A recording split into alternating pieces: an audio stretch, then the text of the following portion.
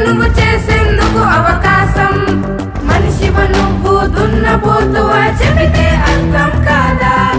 చేసిన తప్పే మళ్ళీ చేస్తే నిన్నే మనాలి పెదవా బయటకి రాకోయ్ బయటకి రాకోయ్ ఇంట్లో నుండి బయటకి రాకోయ్